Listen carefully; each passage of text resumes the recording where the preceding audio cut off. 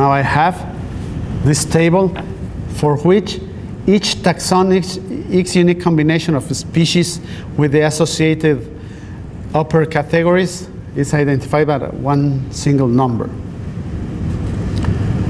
And then I can add the amount of information I want. I want a, a, a field that is endemic.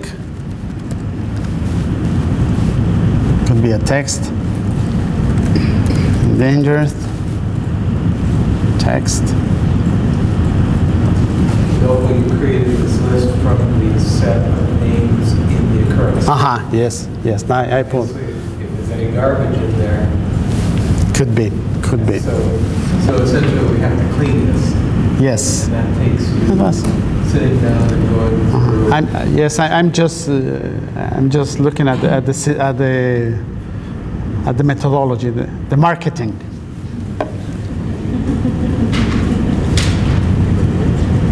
Okay, endemic. I mean, this, this is how we decide about endemic species in Africa. This is how we did it in Mexico. Okay.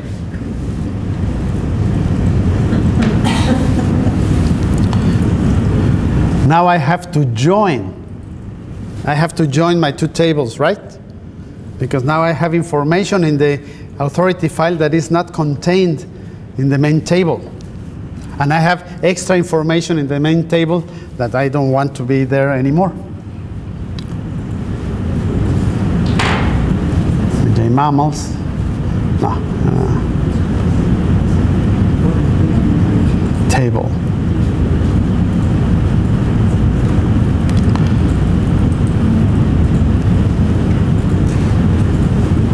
Wha- wha- Now, what I, what I will do is go to the tools of the database and add the tables. This menu allows us to connect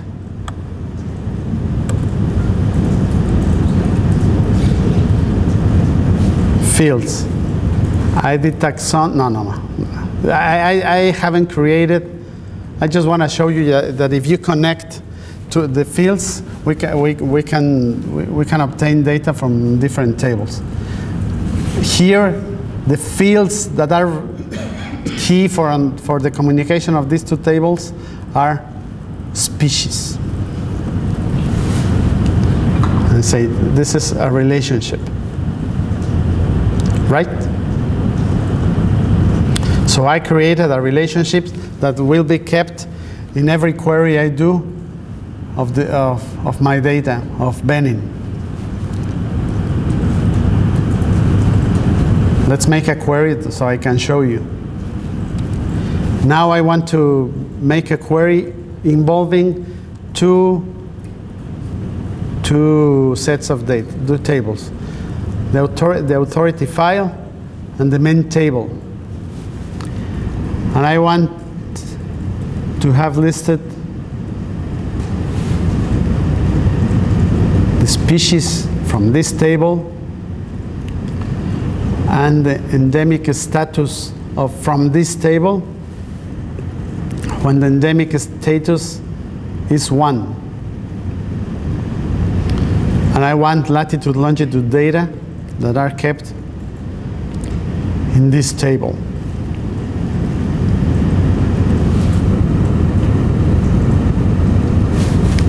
You see? What I have now is a query that only involves the endemic mammals. But I, I didn't say anything about the lat long data.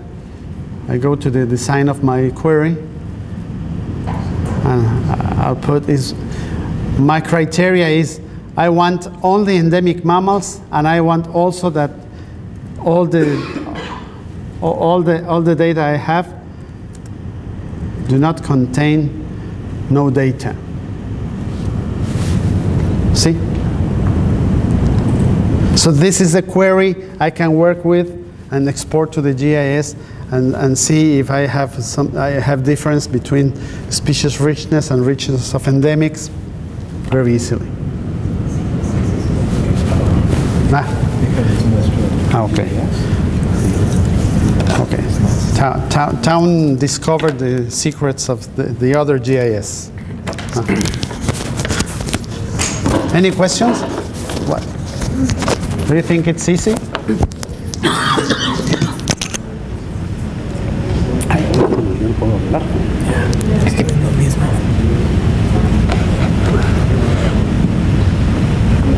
Okay, so my turn to suffer.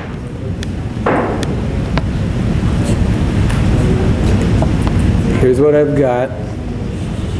In, in honor of Caleb, who left for this, uh, there's Ghana, and there are all the bird records from Ghana. Okay?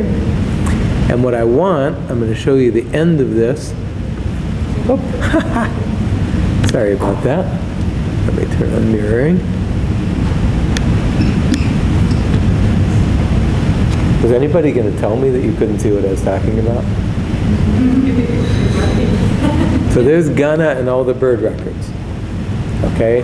And as Adolfo just told you, you could have filtered this for endemics, you could have whatever. So, uh, what, I, what I'm wanting to do is count the number of species in each of a grid. There's my grid, okay? And what I want to get, this is kind of where I'm headed at the end, is this. Okay? That's what I wanted, a map of species richness. Look at that, he's happy now.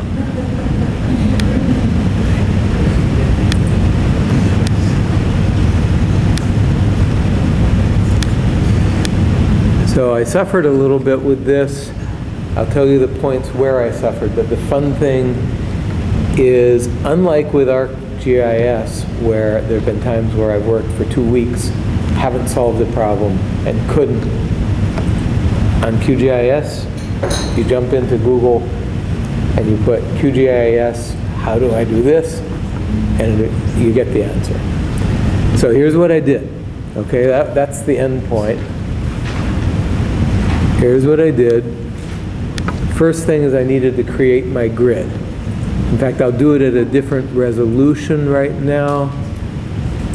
Adolfo, are there four numbers? Adolfo, are there four numbers written over there on a piece of uh, paper? Yes. Hold on a second.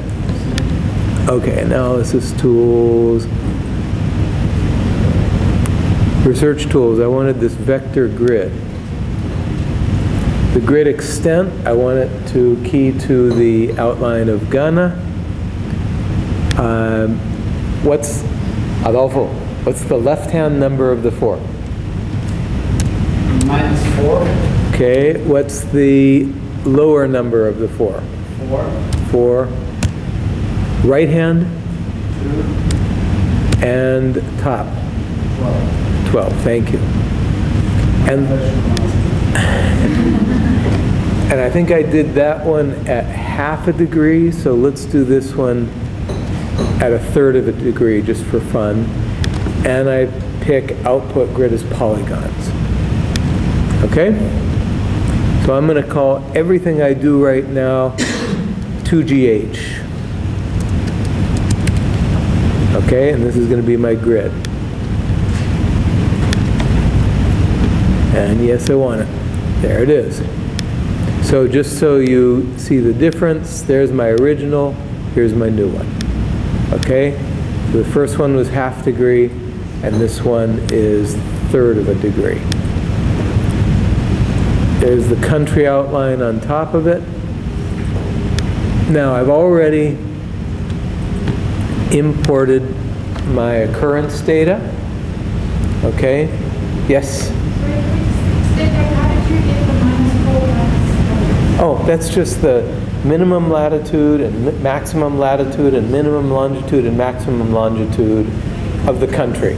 Can you first listen when we it again? Say again? It's not going to be while listening. Then maybe let's fast. Yeah, probably best to, to listen and then we'll go back through the steps. So what did I do? I found an outline of the area that I wanted, and on that piece of paper over there, I noted down its minimum and maximum latitude and longitude. Okay? This is what I've been doing all the time Adolfo's been talking. Uh, How please you work on checking your Facebook like all the other? Oh, I did that too.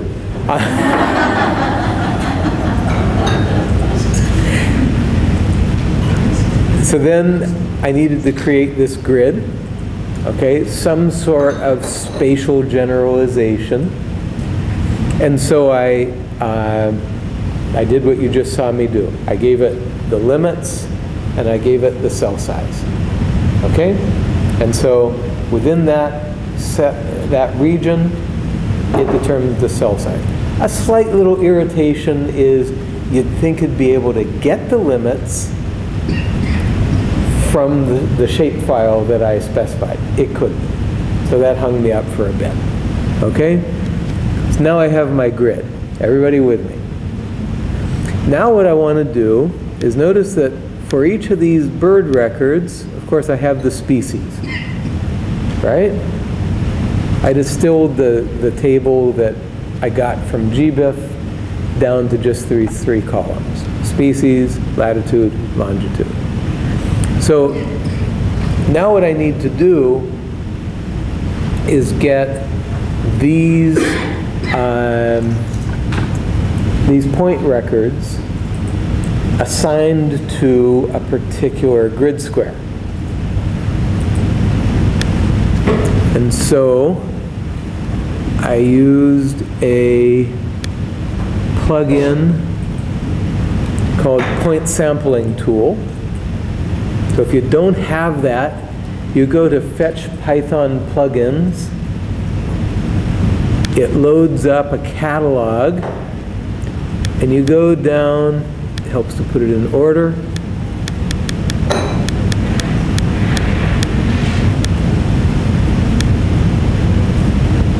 Point sampling tool. You see, I have it installed, but you would just highlight it and put install, please. Okay? So that gives me here in plugins analysis point sampling tool. So the layer containing the points is Ghana birds. Huh? Yeah, that's that's why listen to me first. Okay? So I wasted about 15 minutes because I thought, okay, I'm going to find the key field, and the key field is this two Ghana grid ID. But what I didn't realize is that I could, that, that that's the only field I'm going to get in my output. Okay? So that really cost me a bit of time, and what I really wanted was species as well. Okay? So now I'm in my output, I'm going to get the grid ID and species. Okay? So I kind of didn't know that I could choose more than one field. And so I'm going to call this 2GH uh, occurrences. Okay?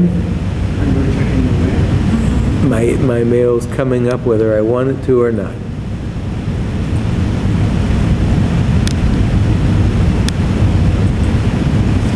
So it's going through.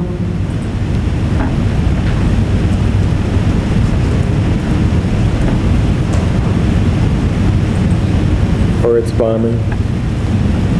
But it's a couple of thousand points, so it would make sense. There we go. It's asking me about the coordinate reference system.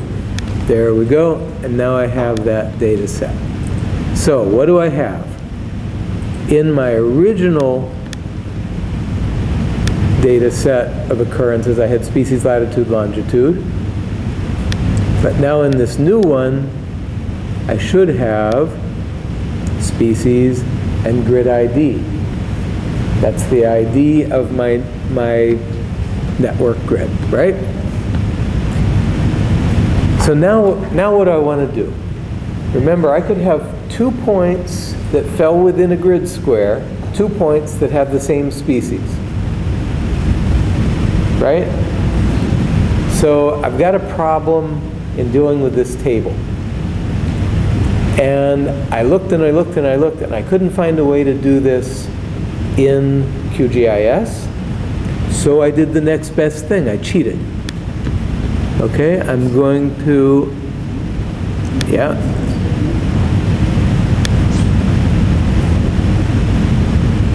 Let's see. Invert the selection so it selects everything. Then I'm going to copy it to my clipboard.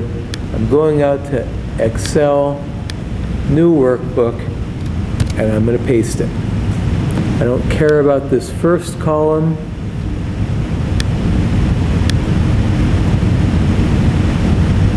Let's see. Okay, now I have species and I have ID numbers. But again, I can very easily have two lat long combination, combinations that have the same species and fall in one grid square. So I'm going to take the whole thing, I'm going to go to Data, Advanced Filter, and you can get this unique records only. Okay? Boom. So it just reduced. And you can see it. It goes 1, 2, 3, 4, 5, 6, 7, 8, 9, 11, 12, 14, 15, 25, right? So I want to copy that, and I want to put it over here in a second worksheet. So now I have the list of species per grid cell. Right? And so in some grid cells, I might have 100 names. In fact, let me sort this by grid cell just to show you.